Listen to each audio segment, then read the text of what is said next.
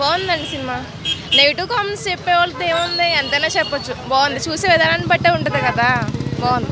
మీరు ఫ్యాన్గా చెప్తున్నారా? లేకపోతే సినిమా నిజంగా నచ్చి? నేనైతే ఎవరి ఫ్యాన్ కాదు బట్ బాగుంది. చాలా బాగుంది. పిల్లల సినిమా లాగా ఉంది సీజీ కానీ లేదు లేదు. అది మనం చూసే విధానాన్ని బట్టి ఉంటుంది కదా. చూపించారంటారా? కరెక్ట్గా అంటే ఓకే పర్వాలేదు.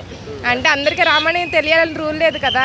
ఈ జనరేషన్కి అయితే అసలు తెలియనే తెలియదు బట్ సూపర్ బాగుంది. ఆదిపురుష్ అనేది ఓన్లీ పిల్లల కోసం తీశారని చెప్పి అంటున్నారు. సో మీకు పిల్లల కోసం అని ఉంది. అంటే ఈ జనరేషన్కి అసలు రామాయణం గురించి ఏం తెలుసండి? అసలు ఏం తెలియదు కదా. ఏదో మనకు తెలిసిన కాడ చూస్తాం అంతే. అంటే అంతగా విమర్శించాల్సిన అవసరం లేదు బట్ ఏంటంటే ఫ్యాన్స్ ఉంటారు కదండి.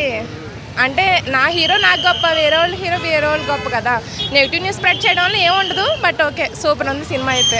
థ్యాంక్ యూ బాగుంది సార్. విజువల్ ఎఫెక్ట్స్ అయితే చాలా బాగున్నాయి. అందరూ అదే మైనస్ అంటున్నారు కానీ యాక్చువల్లీ అదే త్రీ డీలో త్రీ డీ ఎక్స్పీరియన్స్ చాలా బాగుంది. కంపల్సరీ ఫ్యామిలీతో త్రీ డీలో వచ్చి చూడండి. ఫుల్గా ఎంజాయ్ చేస్తారు. మూవీని మూవీలా చూడండి బ్రదర్ ట్రోల్ చేసే వాళ్ళకి ఏం చెప్తారు ఏంటి బ్రో ట్రోల్ చేసేవాళ్ళు ట్రోల్ చేసే వాళ్ళది ఏముంది బ్రో? ఇప్పుడు వాళ్ళకి ఒక మూవీ తీయడం అంటే ఏంటనేది వాళ్ళకి తెలి తెలిస్తే కదా అది.